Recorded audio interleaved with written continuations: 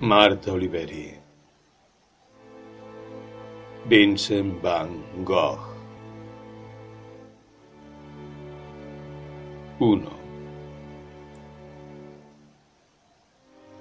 Antes que tu pincel, Vincent, era solo carbón el instrumento, fidelidad del recuerdo de una mina de esclavos, donde dabas inútiles sermones.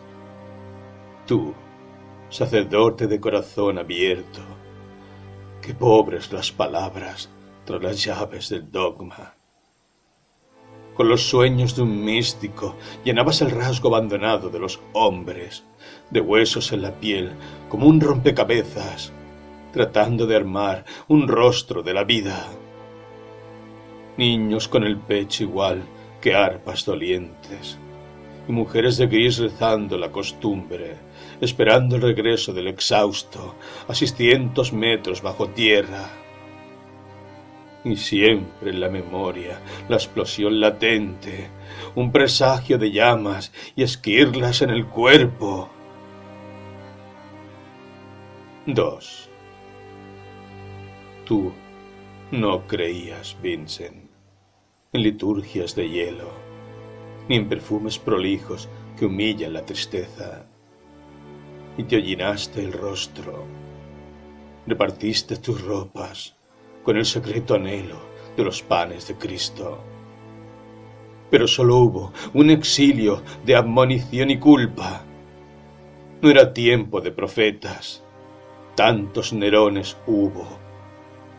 Decías tu sermón en los primeros días de tu bella locura que transitó hacia el cuervo como el bastón de Pedro florecido en la tierra.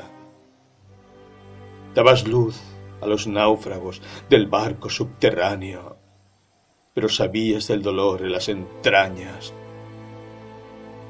que no curan los cirios ni el vaporoso incienso, de la tuberculosis y el lecho de estropajo, donde no acude el sueño, porque noche es insomnio que no calman los salmos ni el leve pan de Dios. 3. Por eso fue tu madre, la antigua carbonilla, quien dio luz al pincel. Tu mirada era otra. Te inundaba el contraste de la belleza infame y el hombre hecho de sombras bajo lumbres de aceite. Como el bastón de Pedro de clavarse en la tierra tus colores vibraron de angustiosa hermosura. 4. Quisiste ver el centro de la vida y así parir un mundo paralelo en tu obra, un mundo después del girasol que sufre, un mundo más allá del huracán de estrellas, un tiempo con los árboles de Saint-Rémy floridos, cuando el mundo enamora y nada hiere. Decir que no era todo y demasiado, que escupieron tus lienzos los idólatras. Eso es lo que siempre han dicho, para curar el alma y dejar al hombre muerto, perfumando la historia. 5. Pero hermano, la locura aún te mira y te abraza poderosa en su marginación de siglos.